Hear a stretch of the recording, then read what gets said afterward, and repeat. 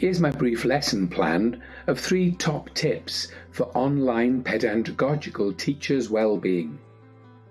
You may be wondering what I'm referring to when I talk about pedagogies. In teaching, learning, and assessing, we're so often accustomed to using the word pedagogy, but it's really important for us to consider um, in relation to adult learning, andragogies, that there are different elements that we need to remember and to embed within our facilitation for adult learners.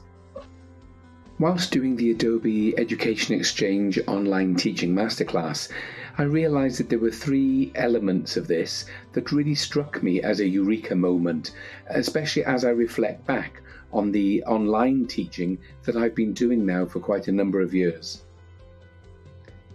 I've put these three top tips into a lesson plan, which I'm aiming to share with you now as teachers, especially those of you working with adult learners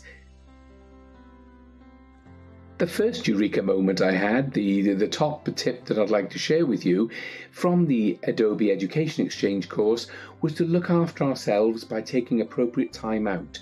We need to factor in breaks. Uh, we need to be able to switch off our machines, stop answering emails, and realize that tomorrow is another day. Uh, there are so many competing pressures on our time, but we have to factor in looking after ourselves.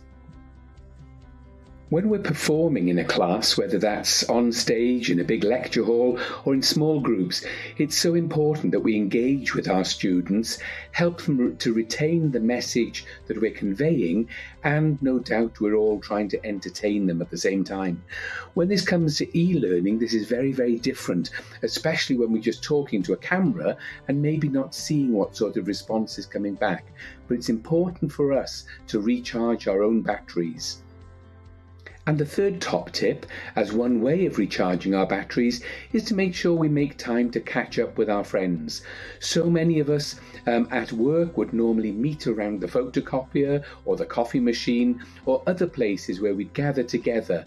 Now, those opportunities during the various COVID 19 uh, lockdowns have been taken from us, so we need to factor in opportunities to catch up with others the promise I'm having to make myself from the eureka moments of these three top tips um, for online pedagogical learning is to be able to factor in a better work life balance, especially when we're faced by the ever mounting challenges of online demands and work requirements.